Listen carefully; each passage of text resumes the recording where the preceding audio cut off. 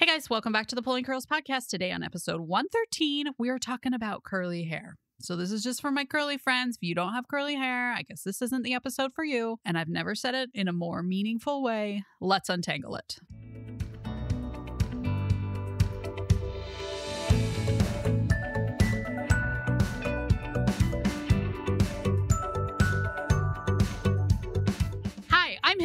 Erickson, the curly head behind the Pulling Curls podcast, where we untangle pregnancy, parenting, home, and even travel. We know there's no right answer for every family, but hopefully we can spark some ideas that will work for yours. Life's tangled, just like my hair.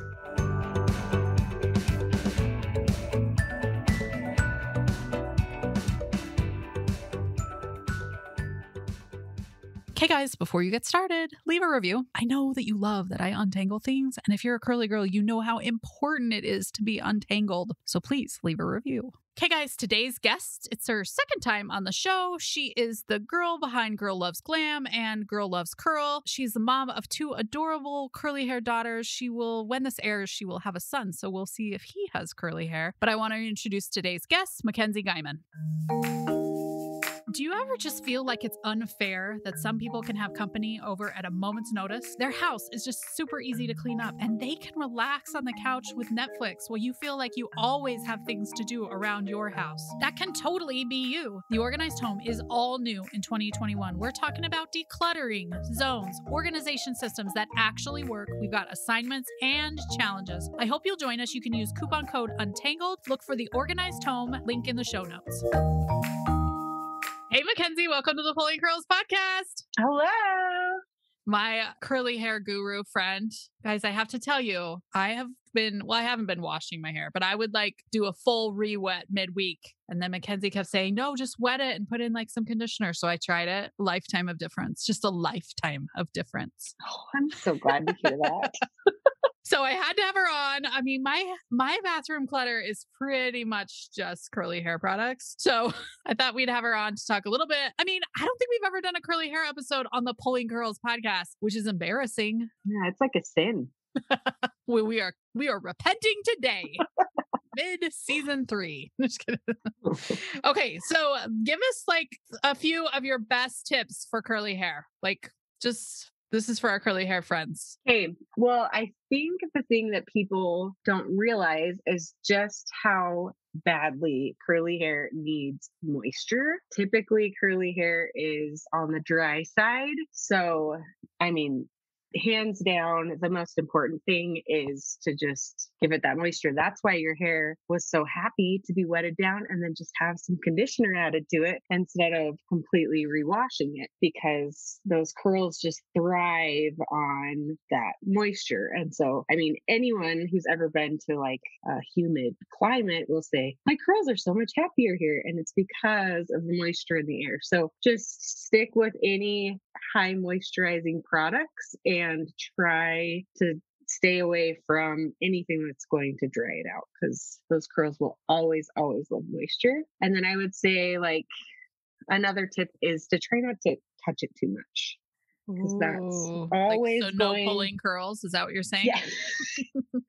Don't pull those curls. But try try not to mess around with it too much after it has dried, especially because that only creates frizz. And I'm actually trying to teach my husband this because he's kind of been growing out his hair and he'll just gel it. And then at the end of the day, he'll like run his hands through it and he's like, Why is my hair so crazy? I'm like, Because you're touching it. But if you just let let them be, then they'll be a lot happier and you'll be a lot happier because your hair won't look like a giant frizz ball. So I would say those are my top two tips, but there's plenty more. I'm a toucher, so that's definitely a problem. It's because your name is pulling curls. I know. Actually, okay, so I don't like to pull my curls. I like to squish them. I've been thinking about this more lately. I like to squish the ringlet. So, you know, but squishing curls does not curls sound- anywhere as good as pulling curls. Although, if I had to rename my blog today, it probably wouldn't be pulling curls. But I will say that when I go to a humid environment, like we lived in the Bay Area, which has more humidity than Arizona, as does most of the planet, my hair was so much happier. It's very sad in Arizona. Very sad. Yeah. I think anyone's hair would be very sad in Arizona, honestly. It's just dry. No, I think people who have like stick straight hair tend to thrive here, probably. Yeah, Maybe. yeah, maybe, Yeah. maybe. I think pretty much everyone's hair likes moisture though. Yeah. Okay. But I feel like moisturizing products, they lie. Like, cause I'll be like, this is a super moisturizing. And then I'll do it. And I'm like, no, that's not. Well, and something you also have to be careful with with moisturizing products is you can actually over moisturize, which sounds crazy, but it can almost leave your hair like mushy. And so you kind of have to have it's it's a trial and error, definitely.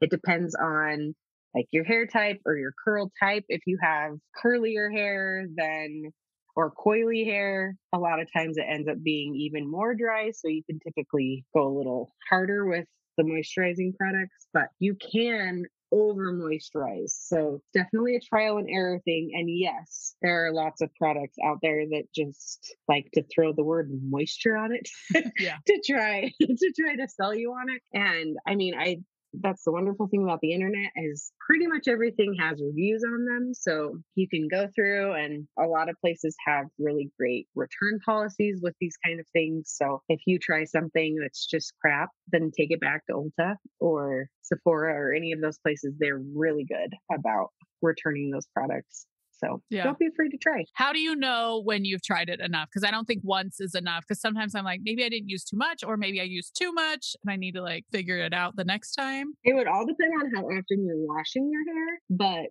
I would say to give it like probably two weeks. Yeah. And that'll give you a pretty good idea. I would say, on obviously, it depends on how much you're washing it, but I would say like four or five washes. So, however long that takes for you. Six years. Six years.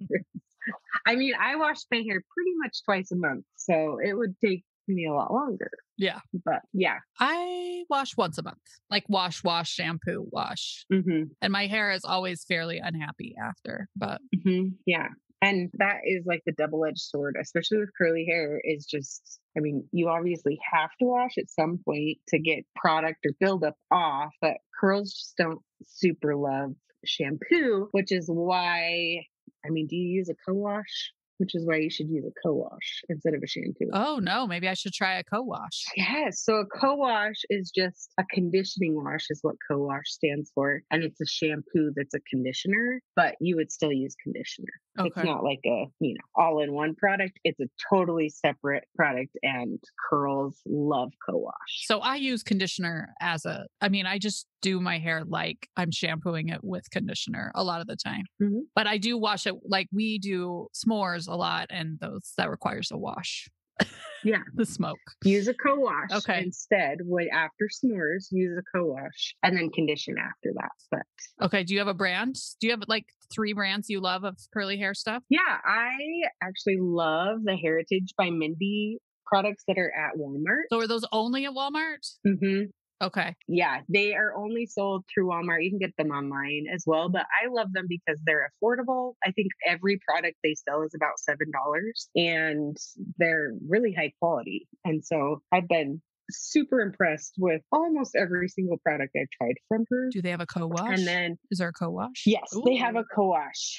They have a co-wash. They have I really like their conditioner and I also really love their hair mask as well. What's the difference between a conditioner and a hair mask? Conditioner's a lot lighter and you would use that every single time and a hair mask is more really deep conditioning and if you used that every single time you would be overdoing it. My hair's never said that was too much, Hillary. Yeah, and that's how my like where I don't wash my hair very often, I use one every single time, but it totally depends on your hair type. So try it every other time and then if you feel like you could handle it every time, then there's no harm in trying it and see how it feels. Yeah. I, you know, I had lived with roommates in college and they would always get super greasy hair. And I'd always just that's so weird. I don't, I must just really wash really well because I never get greasy hair. And literally, I probably was like 35, 40 when I was like, no, you just don't make any, mo- there is no oil going on your scalp, Hillary. It's nothing, Yeah. it's nothing about your skill in the shower. you just thought they were disgusting I don't people. know. I was like, I just sleep lighter. I don't know.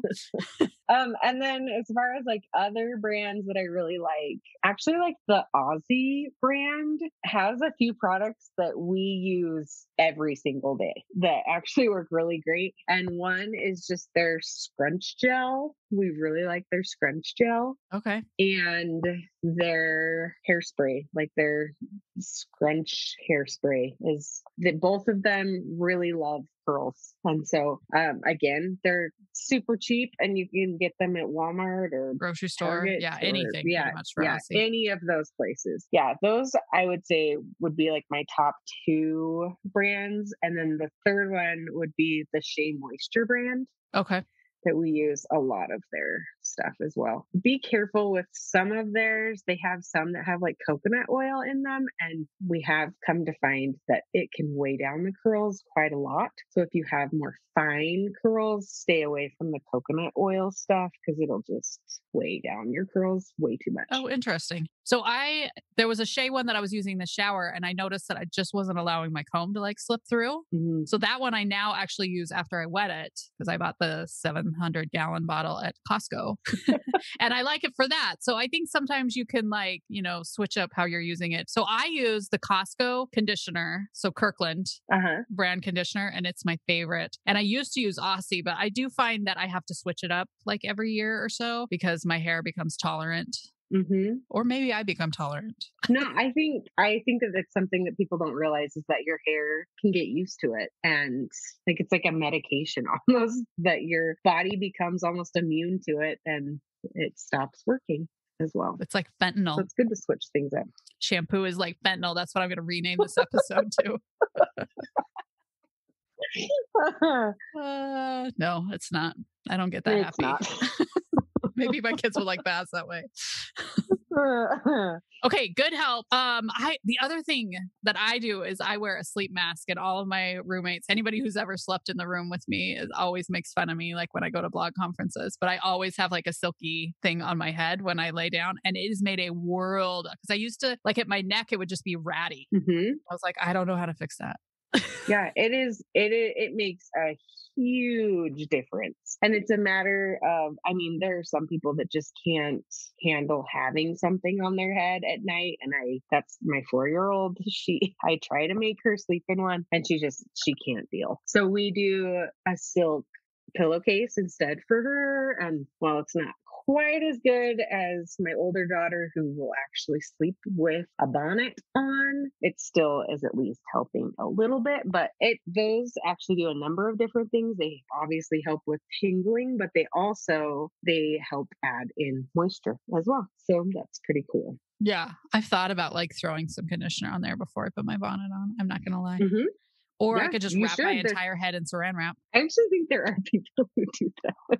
You say it as a joke, but I do think that that is a practice. I'm sure it is. You could wear a do rag as well. That's a common practice as well. So I've been sent a few of them from different companies, and the only one that stays on my head because I have really fine curls is the one with the band around it and the full bonnet, like silky bonnet. So I've just gotten. I'll put a link in the show notes if you guys are interested in the one that works for me. I've tried like I've tried like a silky beanie where the inside and it just comes right off, right off. Mhm. So Yeah, that the the kind you use is the same type that we use at our house. too. yeah, and then I tried a tie one. Like where you tie it and there's like some tuck and nope.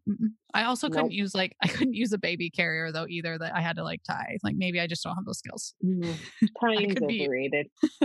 I could use the Bjorn where I just like stuck the baby in, but it's too hard. Mhm, Yeah. Okay, great information for everybody with the curly girl curly girls let's unite. I feel like people are coming back to their curly hair and if you are, definitely get into McKenzie's course. She has a girl loves curl course. It's totally free, although it shouldn't be, McKenzie. But it's free on our website. I know, but I'm taking your email addresses. anyway, it's on her website and you can learn so much about curly hair and how to take care of it. It's super helpful. So check that out. I'll put that in the show notes or it's at Girl Loves Glam. I'm sure they can find it on the homepage, right, McKenzie? yeah, Yeah, there's a sign up there. How much time does it take to go through the whole thing? Um, they're sent out once a week, so it's like a 12 week course, but they're just really short lessons. Small little snippets to make your hair healthier and happier. Yep. Thanks for coming on, McKenzie. Thank you for having me. All right, my curly friends, I hope you enjoyed that episode and got some good information from it. I would love it if you want to come to Pulling Curls or you could share it on Instagram. What curly hair product do you love? What should I try next? Because I feel like I'm just bouncing around to all the curly haired products and I just don't want to miss one. So tell me in my comments. Thanks so much for joining us on today's episode. We know you have lots of options for your ears, and we are glad that you chose us. We drop episodes weekly, and until next time, we hope you have a tangle free day.